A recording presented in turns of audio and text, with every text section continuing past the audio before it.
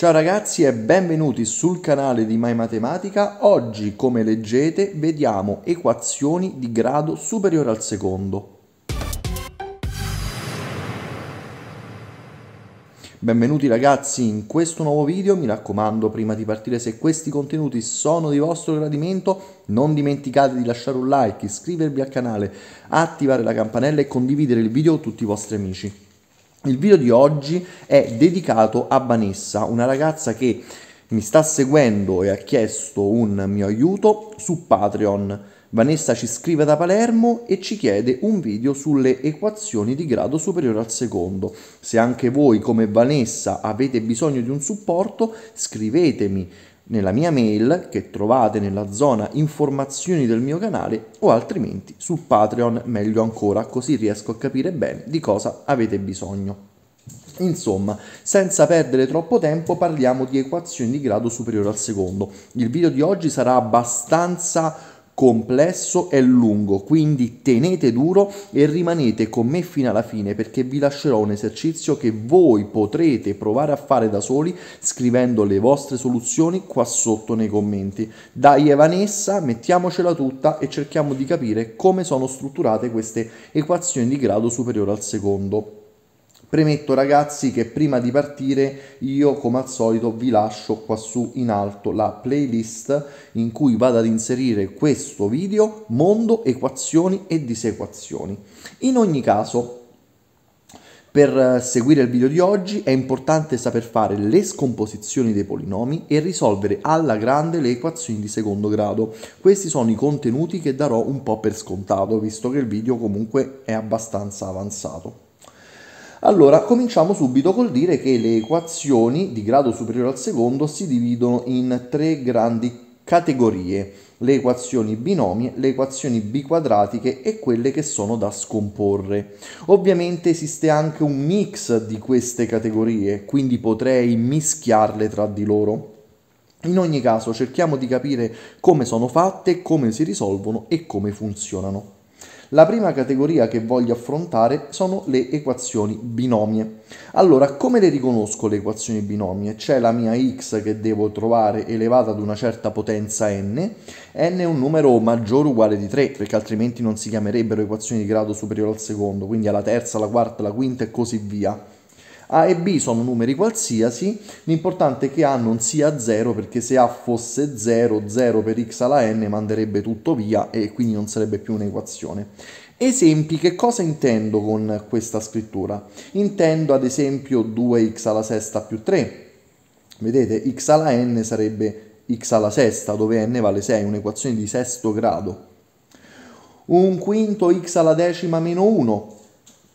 Eccolo qua, x alla decima è il mio x alla n, quindi un'equazione di decimo grado, e così via. 0,2 x alla quinta più radice di 2 uguale a 0, x alla n è il mio x alla quinta, quindi equazioni di quinto grado. Si chiamano binomie perché ci sono solamente due termini e c'è x elevata al grado massimo, quindi non ci sono altre x tipo eh, x di grado inferiore al 5 se prendessi questa in esame. Ok, andiamo al sodo però. Come si risolvono? Beh, dipende dal grado, cioè dipende da n. Dobbiamo distinguere due casi. Il caso in cui n è dispari, quindi alla terza, alla quinta, alla settima, che cosa faccio? Isolo la x ed estraggo la radice ennesima. Vediamo con un esempio di che cosa sto parlando. Allora noi vogliamo risolvere, primo esercizio di oggi, 5x alla terza più 10 uguale a 0, che cosa faccio? Devo lasciare la x da sola, quindi prendo il 10, lo porto a destra e cambio di segno. Poi che faccio? Per lasciare la x da sola divido per 5, divido per 5 in modo da semplificare 10 e 5 ottenendo meno 2 e 5 e 5 ottenendo 1. Ok, qui arriva la parte importante. Devo estrarre la radice ennesima. Per lasciare la x da sola andrò a mettere la radice terza, perché c'è scritto x alla terza, se c'è la x alla quinta, radice quinta. 3 e la radice si semplificano, quindi la x come vedete rimane da sola, e la radice la vado a mettere anche di qua, quindi quello che faccio da una parte lo devo fare pure dall'altra. Ora che succede qua? Succede semplicemente che il meno lo porto fuori, quindi otteniamo meno radice cubica di 2. Questo è il nostro risultato, l'esercizio è fatto, quindi lascio la x da sola, estraggo la radice ennesima. Facciamo un altro esempio per capirci meglio. Esempio 2. 2x alla nona meno 54 uguale a 0. Vedete il 54 l'ho spostato a destra, il 54 lo vado a semplificare con il 2 facendolo diventare 27, 27 lo scrivo 3 alla terza, perché? Perché arrivati a questo punto abbiamo detto per lasciare la x da sola metto la radice nona, metto la radice nona. Ora 9 e la radice si vanno a semplificare perché sono uno l'operazione inversa dell'altro e ricordando un po' le proprietà dei radicali, guardate qui che succede. 9 e 3 sono tra di loro semplificabili. Divido per 3. 3 diviso 3 fa 1 e 9 diviso 3 fa 3. Quindi in verità non c'è rimasta una radice nona, ma c'è rimasta una radice cubica di 3 alla prima, cioè di 3. Quindi radice cubica di 3 è il risultato di questa equazione.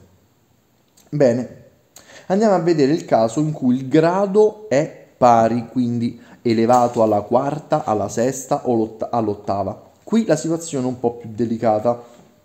Prima cosa da fare è isolare la x come abbiamo fatto prima.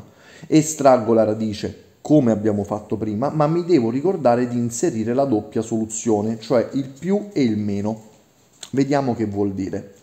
Prendiamo l'esempio che abbiamo qua, x alla quarta meno 81. Questo è il terzo esempio che avevo in mente per oggi. Beh, la x deve stare da sola, quindi il meno 81 lo porto a destra e diventa positivo. Abbiamo detto che devo estrarre la radice. Che vuol dire estrarre la radice? C'è scritto x alla quarta, io metterò radice quarta, metterò radice quarta. Ora 4 e 4 si semplificano, quindi rimane solamente la x, e qua devo inserire il doppio segno, doppia soluzione, quindi più e meno non me lo devo mai dimenticare, e poi mi dico quanto fa la radice quarta di 81? Se non ci riesco a mente, utilizzo la calcolatrice e scopro che fa 3. Quindi la nostra equazione x alla quarta meno 81 uguale a 0, come vedete, ha ben due soluzioni, x uguale più o meno 3. È giusto dire due soluzioni? La risposta è no, per essere precisi le soluzioni sono 4. Ma come sono 4 se ne è scritte solo 2? Perché ognuna di loro va contata due volte, quindi è come se fosse più 3 più 3 meno 3 meno 3. Vabbè, ma fatto sta che scritto così queste sono le nostre soluzioni e l'esercizio è terminato. Dove sta l'inghippo? Che mi devo ricordare di mettere più e meno. Doppio segno, doppia soluzione. Vediamo un altro esempio. Esempio 4 di oggi. Voglio risolvere 2x alla sesta meno 128 uguale a 0. Il 128 va di là, divido per 2, così si semplifica tutto, e 128 diviso 2 fa 64. Bene, ora c'è da estrarre la radice. x alla sesta? Bene, mettiamo radice sesta. Mettiamo radice sesta. 6 e 6 si semplifica, che cosa non mi devo dimenticare di fare? Di inserire il doppio segno, quindi più o meno, doppia soluzione, e poi calcolo radice sesta di 64 che se lo so fare al volo in mente è facilissimo perché fa 2, altrimenti vado ad utilizzare la calcolatrice. Più e meno 2 sono le soluzioni della nostra equazione. Vediamo adesso però una situazione un po' più strana perché non è tutto rosa e fiori. Ok, esercizio 5 di oggi, 5x all'ottava più 1 uguale a 0. Guardate che cosa succede. Come al solito dobbiamo lasciare la x da sola, quindi prendo l'1, lo porto a destra e diventa meno 1. Arrivato qua, voi dite, va, che faccio? Faccio fratto 5, così si semplifica, fratto 5. Qui io mi fermo subito e vi scrivo che la soluzione è impossibile. Perché dico che questa equazione non ha soluzione? Guardate qua sotto ho fatto un'osservazione. Le potenze pari generano numeri positivi. Cioè, se io prendo un numero, lo faccio all'ottava, questo numero, avendo una potenza pari, è sicuramente un numero positivo. Se un numero positivo lo moltiplico per 5, 5 per un numero positivo può dare un risultato negativo? Assolutamente no. Quindi ah, non andate quando il grado è pari, x alla quarta, x alla sesta, x all'ottava, x alla decima, non andate a memoria mettendo sempre la radice come nei due esercizi precedenti, ma usate gli occhi. Se dopo l'uguale dovesse venire un numero negativo, scrivete subito che la soluzione è impossibile. Questo che abbiamo appena visto è il quadro sulle equazioni di grado superiore al secondo di tipo binomie. Bene, come vedete da questo schema generale, ovviamente ho preparato un po' tutto, quindi andiamo adesso a vedere la seconda categoria, le equazioni biquadratiche. Innanzitutto come le riconosco? Le riconosco da questa particolare forma, ax alla 2n più bx alla n più c. Ora, n rappresenta il grado di partenza, 2n il grado finale, quindi che vuol dire che se n fosse uguale a 5, 2n sarebbe uguale a 10, cioè il doppio di n, quindi avremo un'equazione di decimo grado. A, B e C sono numeri qualsiasi, l'importante è che A non sia 0, beh, ed N deve essere maggiore o uguale di 4 nel suo complesso, quindi questa scrittura significa che l'equazione nel complesso partirà dal grado 4.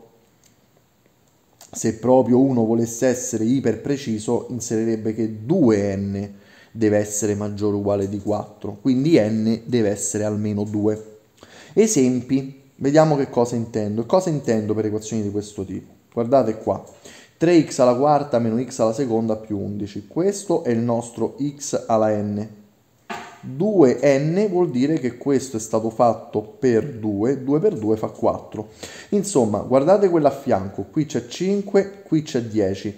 Queste equazioni le riconosco perché una potenza è il doppio dell'altra. Quindi una potenza è il doppio dell'altra. Se succede questo, sono di fronte ad un'equazione biquadratica. Bene, come si risolvono queste equazioni? Semplicemente, come leggete qua, uso la sostituzione x alla n uguale a t e lavoro su una classica equazione di secondo grado. Cerchiamo di capire questo che significa. Primo esempio di questa categoria, esempio 6 di oggi. Voglio risolvere questa equazione x alla sesta più 5x alla terza più 6 uguale a 0. Allora io che faccio? Prendo la potenza centrale, quindi x alla terza, e dico da questo momento in poi x alla terza è uguale a t. Se x alla terza è uguale a t, beh, qui dove c'è x alla terza chiaramente ci vado a mettere t. Ma dove c'è x alla sesta, beh, per andare da x alla terza a x alla sesta abbiamo fatto un per 2 e quindi non avremo un semplice t ma un t alla seconda. Quindi come detto adesso grazie a questa sostituzione lavoro su una classica equazione di secondo grado. Prendete la vostra equazione di secondo grado e ve la risolvete come volete. Questa è una cosa che vado a dare per scontato in questo video, quindi volete usare la formula? Usate la formula. Volete scomporre come se fosse un trinomio speciale? Scomponete. Risolta la vostra equazione, confermate qua sotto se trovate le soluzioni t uguale 2, t uguale 3. Mi raccomando usate la t, non la x, perché la nostra equazione è con la lettera t. Ok, qui arriva la parte bella dell'esercizio. Ma chi è t? Ve lo ricordate chi è t? T, guardate un po', l'abbiamo scritto qua su in alto, t è x alla terza. Quindi io adesso farò questo, al posto di t ci vado a scrivere x alla terza uguale 2 e sotto x alla terza uguale 3. Ma queste che sto andando a scrivere ragazzi non sono per caso equazioni binomie come quelle che abbiamo affrontato prima? E quindi come le risolvo? Visto che la x sta da sola, estraggo la radice, in questo caso radice cubica, estraggo la radice cubica, quindi a sinistra al primo membro la radice si semplifica con la potenza e che cosa ci viene fuori? Ci viene fuori che x è uguale alla radice cubica di 2 e che x è uguale alla radice cubica di 3. Queste sono le soluzioni della mia equazione biquadratica. Che cosa dovete stare attenti? Una volta che avete trovato le T, mi raccomando, l'esercizio non è finito, ricordatevi di passare al mondo delle X. Come faccio? Attraverso la sostituzione che avevo creato all'inizio. Vediamo un altro esempio. Esempio 7 di oggi. Voglio risolvere questa equazione. x all'ottava meno 2x alla quarta meno 8 uguale a 0. È un'equazione biquadratica? Sì, perché 8 è il doppio di 4. Se qui ci fosse stato scritto un 6, un 7, un 5, questa non era un'equazione biquadratica e questo metodo non funzionava. Usiamo la sostituzione che abbiamo visto. Prendiamo la nostra potenza centrale, magari senza cancellare niente, e diciamo che il nostro x alla quarta deve essere uguale a t. Voi lo sapete fare? Scrivetemelo qua sotto nei commenti. Bene, facciamo la nostra sostituzione. Da questo momento in poi x alla quarta si chiama t quindi al posto di x alla quarta ci metto t e visto che x all'ottava è la potenza doppia, scriverò t alla seconda. Vedete? Le promesse vanno mantenute. Ho una bellissima equazione di secondo grado, la vado a risolvere come prima, o con la formula o con le scomposizioni. Fate come vi pare, fatto sta che alla fine dei calcoli otteniamo t uguale 4 e t uguale a meno 2. Ho finito? Assolutamente no. Devo passare alla equazione con la lettera x, perché io non voglio le t, voglio le x. Chi è t? Beh, t, leggete qua su in alto, è x alla quarta, quindi abbiamo che x alla quarta è uguale a 4 e che x alla quarta è uguale a meno 2. Queste sono equazioni binomie, quindi che faccio? Estraggo la radice quarta, estraggo la radice quarta.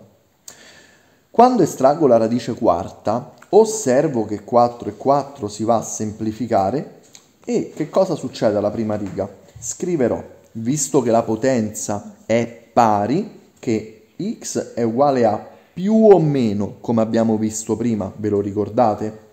Radice quarta di il 4 lo posso scrivere come 2 alla seconda. In questo modo posso andare ulteriormente a semplificare il 2 con il 4 4 diviso 2 fa 2 e 2 diviso 2 fa 1. Ottengo quindi più o meno radice quadrata, quel 2 posso anche non scriverlo, di 2.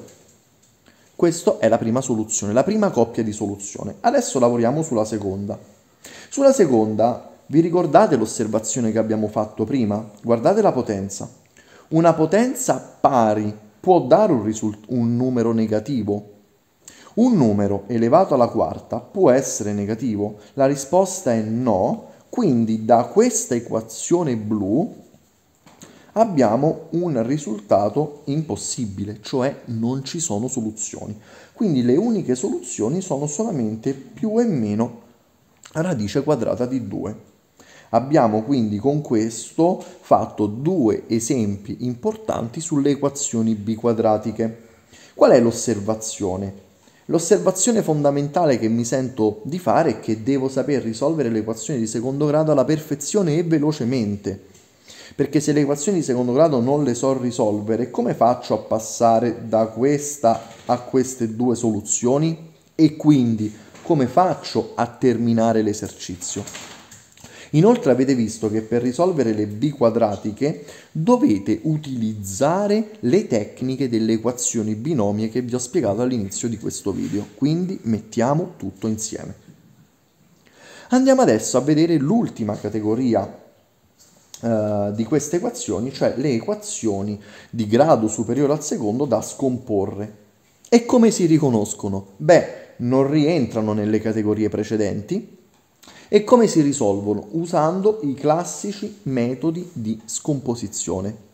Se siete un po' indietro con le scomposizioni, vi consiglio di andare nella playlist dedicata al mondo della divisibilità e della fattorizzazione. Sul mio canale trovate tutte queste tecniche, soprattutto Ruffini, perché è molto molto utile.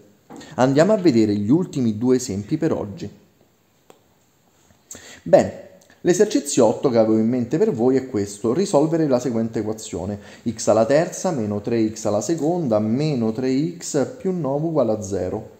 Voglio usare come tecnica il raccoglimento parziale, quindi vado a creare delle coppie e vado a fare dei raccoglimenti. Nella prima coppia raccolgo x alla seconda, nella seconda coppia raccolgo il 3 perché tra 3 e 9 si ripete il 3.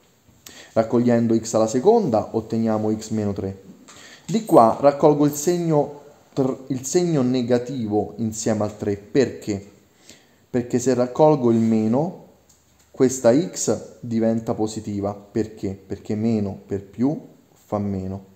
Se raccolgo poi il segno meno, meno per meno fa più 9 e 3 per 3 ovviamente fa 9. In questo modo le mie parentesi sono uguali, le vado a raccogliere, quindi di nuovo un raccoglimento totale x meno 3 lo scrivo una sola volta e poi in un'altra parentesi vado a mettere i pezzettini che sono rimasti fuori. C'è scritto uguale a 0. Lo 0 è una mano santa in matematica perché ci permette di spezzare in due parti l'equazione. Quindi è come se noi adesso prendessimo x meno 3 uguale a 0 e poi x alla seconda meno 3 uguale a 0. Quindi le vado a dividere in due parti e le andiamo a risolvere. La prima è un'equazione di primo grado e ottengo x uguale 3. Ho spostato il 3 a destra. La seconda è un'equazione di secondo grado, quindi x alla seconda è uguale a 3. Poi che cosa faccio? Metto la radice quadrata. Mettendo la radice quadrata x finalmente rimane pulita da sola. Devo andare a mettere il doppio segno e la radice quadrata di 3 fa semplicemente radice di 3 e quindi abbiamo ottenuto le nostre soluzioni 3 più radice di 3 meno radice di 3 usando il raccoglimento parziale. Come vedete questa non è binomia, per essere binomia ci doveva essere scritto solo x alla terza. Non è biquadratica eh, perché nessuna potenza è il doppio dell'altro e poi ci sono tutte potenze miste che non aiutano, quindi ne sono uscito vivo tramite il raccoglimento parziale. Ehm, andiamo avanti. Ultimo esercizio che prevedo per oggi. Voglio risolvere questa mega equazione x alla quarta meno 5x alla terza più 2x alla seconda più 20x meno 24 uguale a 0. Un'equazione così complessa e così lunga molto probabilmente prevede l'utilizzo di Ruffini. Vi ricordate come funziona Ruffini? Se non ve lo ricordate, correte sul mio canale, cercate scomposizione con Ruffini e vedete come si fa. In ogni caso, la prima cosa che faccio è cercare i divisori di 24 che sono più o meno 1, più o meno 2, insomma tutti questi sono una marea. Comincio a mettere una alla volta questi numeri all'interno della mia equazione al posto della x finché non ottengo 0. Se ci metto più 1 ottengo meno 6 e non va bene perché devo ottenere 0. Se ci metto meno 1 non ottengo 0, quindi non va bene, ma se ci metto 2 vedete che succede? Se ci metto 2 diventa 2 alla quarta fa 16. Poi il 2 lo metto qua, quindi 2 alla terza fa 8, 8 per 5 fa 40. Il 2 lo metto qua, quindi 2 alla seconda fa 4 per 2 fa 8. Il 2 lo vado a mettere qua, 20 per 2 fa 40 e quando vado a fare i miei conti guardate un po' meno 40 più 40 va via 16 più 8 fa 24 meno 24 fa 0 mi ha detto bene il mio numero fortunato è quindi il 2. Vado a fare la solita tabella che caratterizza Ruffini. Come si fa questa tabella? Da dove vengono questi numeri qua? Chi sono questi numeri? Questi numeri sono i coefficienti, cioè i numeri che stanno davanti alle x presi con il loro segno. Qua giù in basso vado a mettere il 2, cioè il numeretto che ho appena trovato. Andiamo a fare insieme Ruffini. Abbasso l'1, 1 per 2, 2. Sommo meno 5 più 2 fa meno 3. Meno 3 per 2 fa meno 6. Vado a fare la somma. 2 più o meno diventa meno, quindi 2 meno 6 fa meno 4, meno 4 per 2 fa meno 8, 20 meno 8 fa 12, 12 per 2 fa 24, 20, meno 24 più 24 fa 0. Guardate come utilizzo questo, questi numeretti. Questo più 2 lo utilizzo per creare un polinomio di primo grado. x meno 2. Mi devo ricordare di cambiare il segno. Quindi se avessimo avuto meno 2 avrei scritto più 2. Cambiate il segno. Tutti questi altri termini che vedete qua servono a scrivere un nuovo polinomio di grado inferiore rispetto a quello di partenza. Vi ricordate che la nostra equazione era di quarto grado? Andiamola a vedere. Eccola qua, c'era scritto x alla quarta. Quindi adesso questi termini creeranno un'equazione di terzo grado. Quindi 1 x alla terza, meno 3 x alla seconda, meno 4x più 12. Ok? Arrivati a questo punto, tutto questo deve essere risolto uguale a 0. Bene, Qual è il problema? Il problema è che questo oggetto è ancora un'equazione di terzo grado e la dobbiamo scomporre perché non è binomia, perché non è biquadratica. Insomma, è un bel casino. Possiamo utilizzare però il raccoglimento parziale, quindi creiamo due coppie e andiamo a scomporle.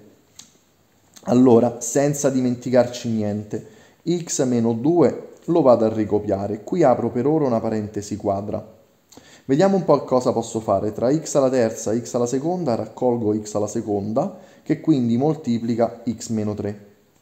Poi, meno 4x e più 12, se vedete, il 4 è un fattore comune, quindi raccolgo meno 4. Avendo raccolto il segno meno, stiamo in campana. Qui ci metto solamente x. È giusto? Facciamo la prova. Meno 4 per x fa meno 4x. Quindi ho fatto bene.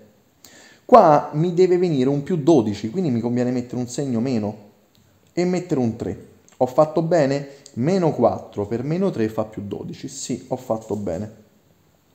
Uguale a 0. Bene, adesso che cosa osservo? Osservo che queste parentesi si ripetono, quindi le vado a scrivere una volta sola. X meno 3 lo scrivo una volta sola. Ricopio questo x meno 2, mi raccomando di non dimenticarlo, e in un'altra parentesi scrivo questo x alla seconda e questo meno 4 perché sono i pezzi che rimangono uguale a 0. Quando c'è l'uguale a 0, abbiamo detto prima, posso separare i fattori e metterli uno alla volta uguale a 0. Quindi scriviamo, abbiamo x meno 2 uguale a 0, poi sotto x meno 3 uguale a 0 e poi x alla seconda meno 4 uguale a 0. Risolvo queste equazioni. La prima è di primo grado, quindi x uguale 2. La seconda è di primo grado, facile, sposto il 3 di là, x uguale 3. Quest'altra è di secondo grado, quindi scrivo x alla seconda uguale 4. Beh, equazione di secondo grado, estraggo la radice, semplifico il 2 con il segno di radice, Andiamo avanti e ricordiamoci di inserire il doppio segno, quindi x uguale più o meno doppia soluzione perché è un'equazione di secondo grado, la radice quadrata di 4 fa 2. Insomma, scriviamo bene le soluzioni. 2 sta sia qua che qua, quindi abbiamo x uguale 2, punto e virgola, x uguale 3, punto e virgola, x uguale meno 2. Abbiamo quindi risolto la nostra equazione di quarto grado usando prima il metodo dei Ruffini e poi un raccoglimento parziale. Insomma abbiamo fatto veramente tante cose. Le promesse sono promesse. Guardate questa equazione. x alla sesta più 11 uguale a 0 è un'equazione binomia, provate a risolverla e scrivete le vostre soluzioni qua sotto nei commenti. Un saluto grande a Vanessa, a cui quindi ho dedicato questo video, un saluto grande a tutti quanti voi e il video di oggi finisce qua e noi ci vediamo al prossimo. Ciao belli, ciao Vanessa.